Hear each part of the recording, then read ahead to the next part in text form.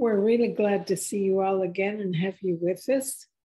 I guess we can't see them, but in my mind, I do. What we wanted to talk about is medications are not the answer.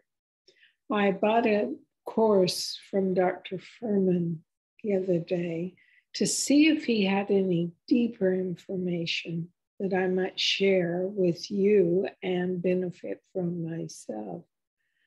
And sure enough, he gave me some deeper information that we want to share with you. And one of his articles is Medications Are Not the Answer.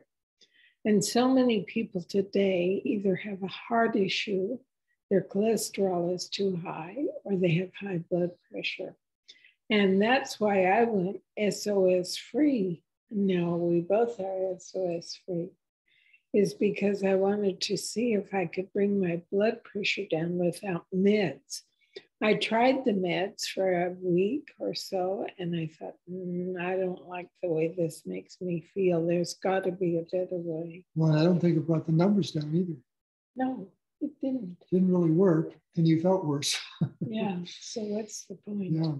So I wanted to refer to a few things he had to say about heart and cholesterol and statins in particular, and then we'll talk about blood pressure and salt, how it affects the blood pressure. So, one thing he says, he likes to say that a prescription pad is a permission slip.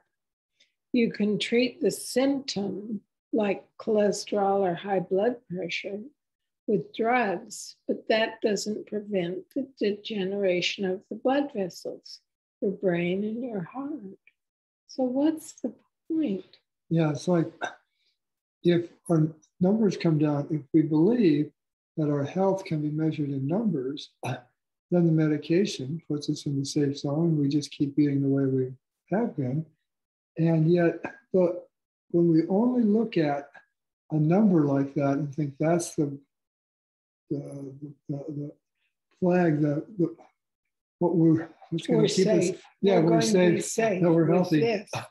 um, it doesn't show the whole picture. It's a very narrow view of our health. And so what he's saying if we're using meds to lower numbers then it's true that aspect of our health is helping to be contained. So there's a less likelihood of, uh, of heart attack or stroke.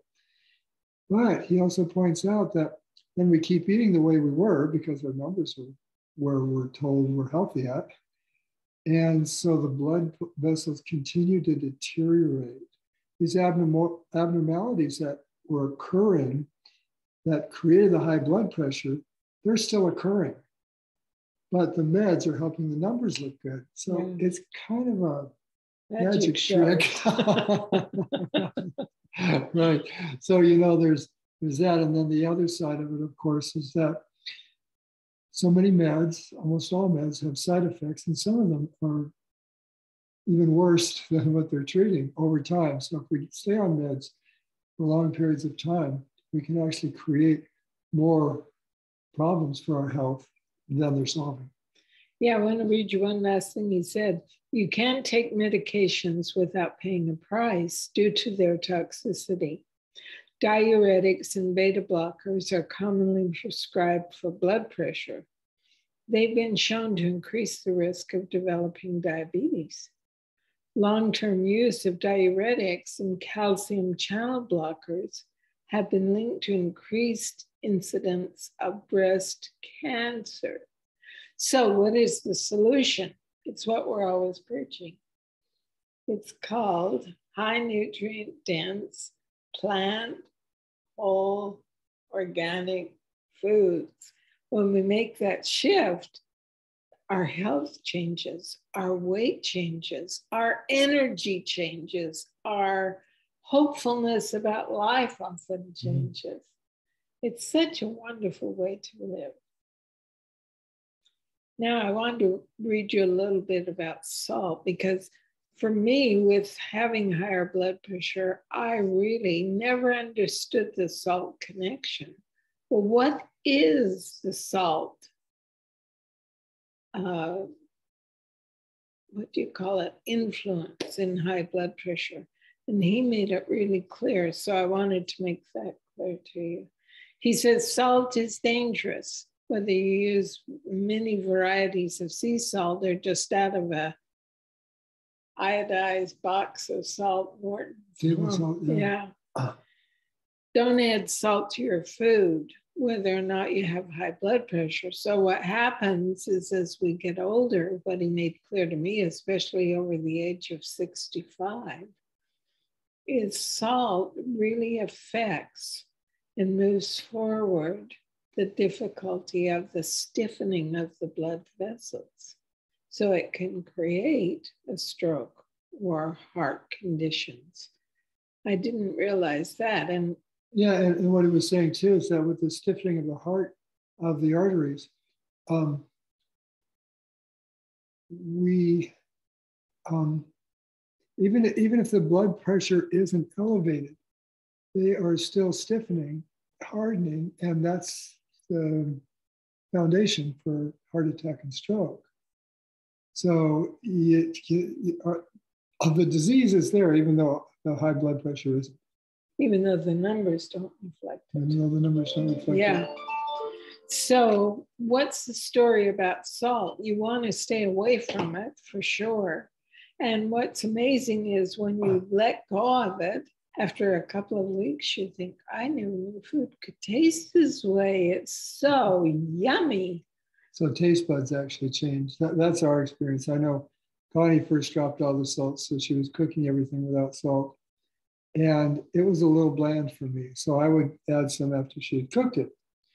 And uh, that got to be kind of a pain. So I just kind of bellied up to the bar and went, okay, I'm gonna eat it this way. And sure enough, it did take a few weeks, but it's like, I don't notice that it's not there anymore. In fact, if I have uh, food with salt in it, like um, I like Amy's chili, and I had some the other night and it was like, whoa, this is salty. Yeah, you really notice if there is any salt. Yeah. So the salt actually deadens our taste buds. Exactly. So when you take it away, you start tasting all these flavors that you weren't tasting before. Like Connie was saying, this food's amazing. yeah. So salt is really a difficulty if you get older, which everybody does. and what you want to do is learn to let go of the salt. Now, my doctor told me when we were dealing with my high blood pressure, don't have more than 1500 milligrams of salt a day. That's the only thing I knew about its relationship to high blood pressure. But what Fuhrman points out is that you're getting five to 700 milligrams in the food itself. So this is sodium we're talking about because yeah. sodium is kind of the culprit in salt that causes the problem. Yeah, you're getting hmm. the needed sodium that you might want. And if you're getting five to 700 milligrams a day, he says never go above a thousand, but really he says let it go. You don't need it at all. And my experience is he's right again.